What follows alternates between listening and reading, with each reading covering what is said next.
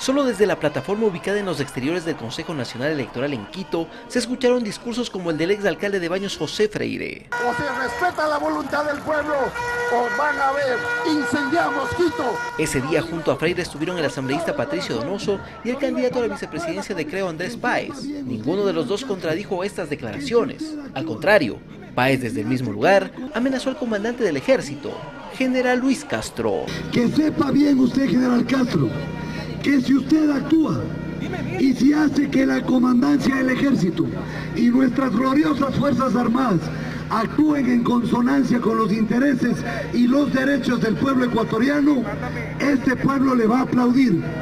Pero si es que usted no actúa de esa manera, este pueblo sabrá castigarle de la forma que nosotros en su momento escogeremos. Palabras que se convirtieron en hechos, como el día en que un grupo de militantes de Creo rompieron este ingreso a un edificio privado bajo la consigna de la supuesta defensa a la democracia. ¿Qué buscaban?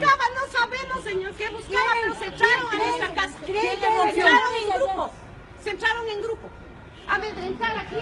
En otras ciudades como Cuenca o Rubamba, las acciones violentas no variaron. Incluso ahí se vivieron momentos de persecución a ciudadanos que simpatizan con Alianza País y su candidato Lenin Moreno, quien ganó la primera vuelta con una diferencia superior al un millón de votos. Pero pese a estos ejemplos de conocimiento público, Lazo hizo la siguiente consulta a su militancia. ustedes conocen algún acto de violencia?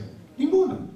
Absolutamente ninguno. Y es que para el candidato de Creo las acciones iniciadas desde el domingo en la noche fueron pacíficas. Un ambiente de paz. Pero que con los ejemplos anteriores se evidenció lo contrario. Otro caso se puede observar en este video, el cual muestra a un supuesto funcionario del CNE. De inmediato militantes de Creo lo increpan. Sin embargo, al buscar la identidad de esta persona, en esta foto se demuestra su simpatía por Guillermo Lazo. Alex Llanos, Ecuador TV.